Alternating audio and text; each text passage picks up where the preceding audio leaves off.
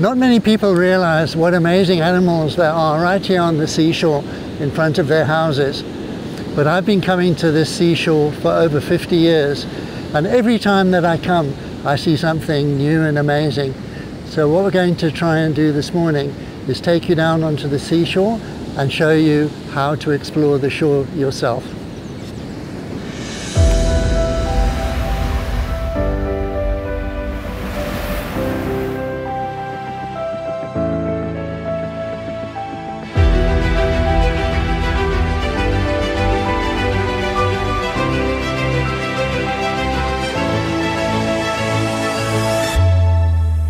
First thing you need to know about exploring the shore is when is the right time to come. And the right time to come is when the tide is low, and the lower it is, the more you're going to see.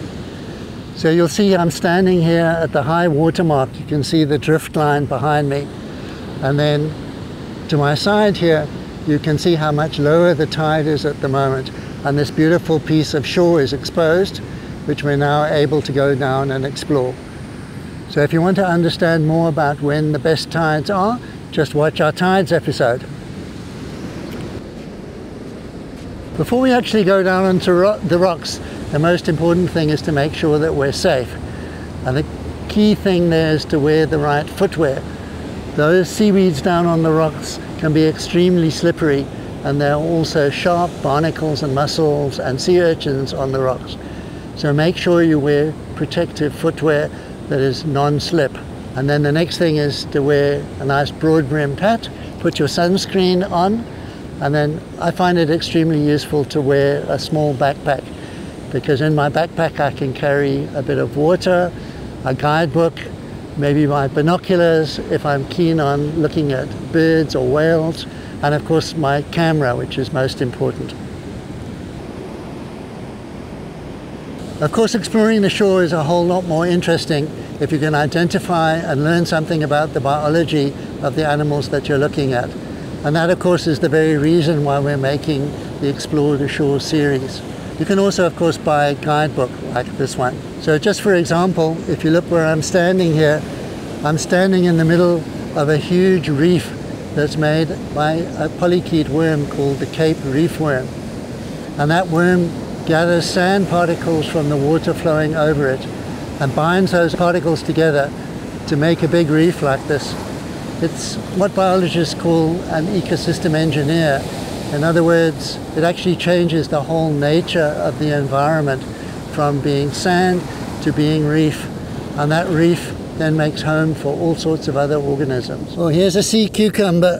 I'm going to hold him in my hand here. It's not a cucumber, not a plant, but it's a relative of the starfish and the sea urchins.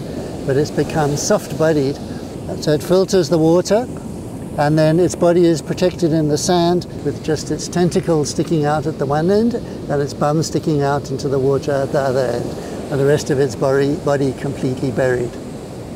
So of course this brings us to the thorny issue of whether one should handle animals that you find on the seashore.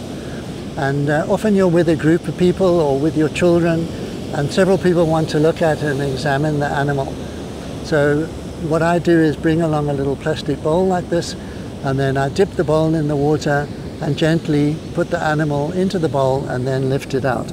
With hardly touching the animal now, I've got it in the bowl. We can pass the bowl around. Everybody can have a good look at the animal and then when they're finished, then you can put it back in the water and tip it out again in exactly the same location that you found it. And it will quickly scuttle under the rocks or bury itself again and you won't have damaged it at all. So when you're exploring the shore, make sure you look around at different habitats types. You'll find some types of animals higher on the shore, others lower on the shore, some on pieces of shore which are flat and had sand inundated, some in rock pools, some on more exposed rocky shores where the waves are crashing in. Every habitat is different, just like grasslands or forests or deserts are different on land. Another really interesting habitat is boulder shores because many species live underneath these boulders that are unable to tolerate the hot, dry conditions on top of the boulders or indeed on a normal open shore. So you'll find many species under the boulders that you'll find nowhere else. One just has to be very careful when turning over the boulders, both not to injure yourself and not to injure the organisms that are underneath them. So just lift the boulder cautiously, look underneath, and then put it back exactly where you found it.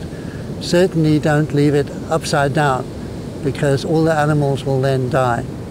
So for example, we've got this beautiful little sea hare.